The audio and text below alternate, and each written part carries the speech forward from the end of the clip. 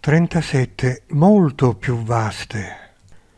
Lo strumento del cerchio Umanità in Movimento dice che prima di produrre le materializzazioni chiamate apporti, avverte una vibrazione che gli sale dai piedi e invade progressivamente tutto il corpo. In genere l'apporto avviene dopo poco tempo. Perché? Commento.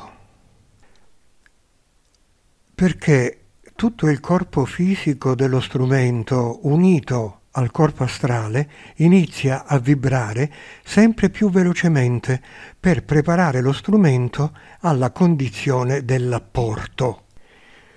Questa doppia vibrazione del corpo fisico e del corpo astrale permette allo strumento di vivere l'unione dei due corpi che in quel momento si trovano congiunti.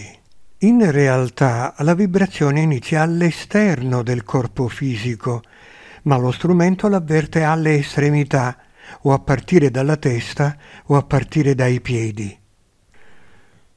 La vibrazione inizia all'esterno perché gli altri corpi hanno dimensioni molto più vaste di quelle che appaiono al corpo fisico.